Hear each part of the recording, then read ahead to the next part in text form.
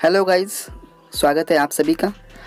आज हम इस वीडियो में spherical triangle spherical excess and how to find the area of spherical triangle देखेंगे। जनरली ये क्वेश्चंस फाइव मार्क्स के लिए पूछा जाता है। तो चलिए स्टार्ट करते हैं स्पेरिकल ट्रायंगल और स्पेरिकल एक्सेस का मतलब क्या है। तो सबसे पहले टू टाइप्स के ट्रायंगल होते हैं, जैसे कि एक होता है प्लेन ट्रायंगल जिसकी summation summation of all the angles 180 degree होती है। और दूसरा ट्रायंगल होता है स्पेरिकल ट्रायंगल मतलब जिसकी समेशन 180 से ज़्यादा होती है। ठीक है? तो स्पेरिकल एक्सिस का मतलब है it is defined as the amount by which the sum of all the three angles exceeds 180 degree इसका मतलब ये होता है it is an amount it is an amount. It is an value by which the sum of all the triangles exceeds 180 degree.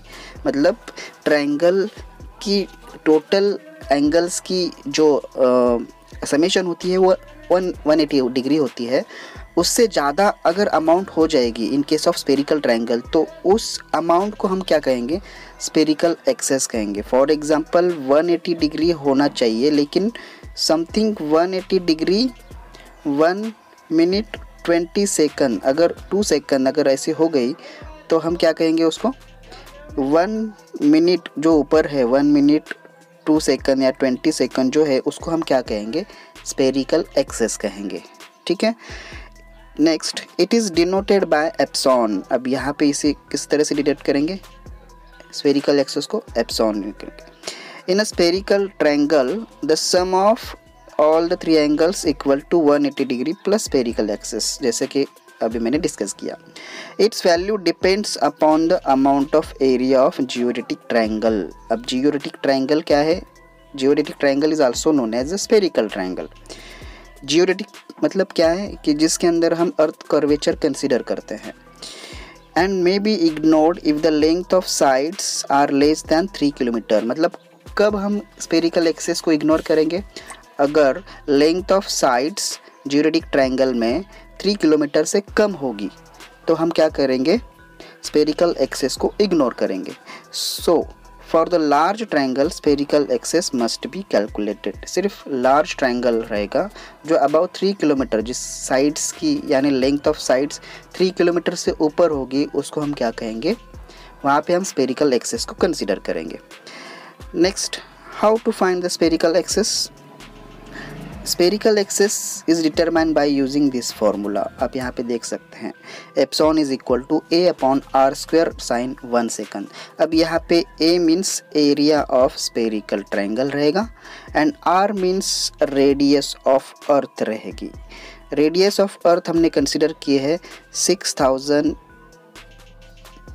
three hundred and seventy kilometre यहाँ पे। अब ये area and R का यूनिट हमेशा क्या रहता है? Same ही रहता है। ठीक है? तो अगर हम इसको कन्वर्ट किया साइन वन सेकंड को तो यहाँ पे एप्सॉन की वैल्यू होगी sixty four eight double zero eight triple zero A upon pi R square यहाँ पे सेकंड्स में यूनिट रहेगा। ठीक है? जब हम आर की वैल्यू इस इस फॉर्मूले में पुट करेंगे तो the value of epsilon becomes A upon 197 seconds रहेगी। यहाँ पे एरिया हमको डायरेक्टली क्या करना है पुट करना है। डायरेक्टली हम एप्सॉन की वैल्यू फाइंड आउट कर सकते हैं। तो इस तरह से हम स्पेरिकल एक्सेस फाइंड आउट कर सकते हैं। ज्योरेटिक ट्रायंगल और स्पेरिकल ट्रायंगल के लिए। नेक्स्ट है। स्पेरिकल एक्सेस नेक्स्ट है the area of spherical triangle अब यहाँ पे आ, इस फॉर्मूले में area of spherical triangle include है तो हम किस तरह से फाइंड आउट कर सकते हैं उसको?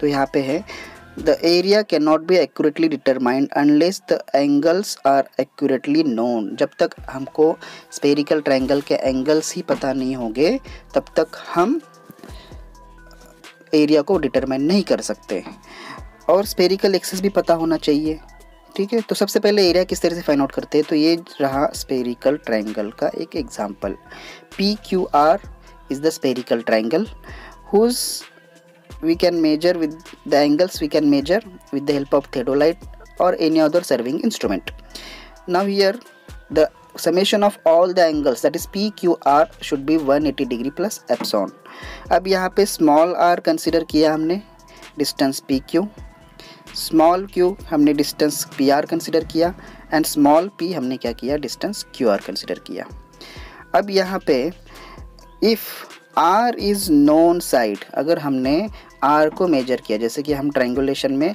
बेस लाइन मेजर ही करते हैं एक्यूरेटली तो अगर R is small R is the known side In the first approximation, the area is calculated by considering the triangle as a plane triangle. First approximation में हम क्या करेंगे ट्रायंगल को प्लेन ट्रायंगल कंसिडर करेंगे and we can we use the observe angles P Q R directly हम क्या करेंगे? P Q R को हम डायरेक्टली यूटिलाइज करेंगे ऑब्ज़र्व एंगल करके। Then this area can be calculated by using this formula one half P Q into sine R यहाँ पे sine rule का भी इस्तेमाल किया है, इसलिए one half P Q into sine R होगी। और you can measure this area by using this formula इसको ही हमने कन्वर्ट किया तो one half small R square dot sine P sine Q upon sine R यहाँ पे small R is the known distance P Q R are the angles ठीक है? Then knowing the area the spherical excess can be calculated and corrected angles also determined in this way we can calculate the area of spherical triangle as well as spherical excess ठीक है?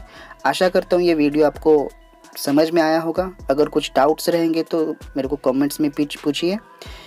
फिर मिलेंगे next video में next topic के साथ। तब तक के लिए धन्यवाद। Thank you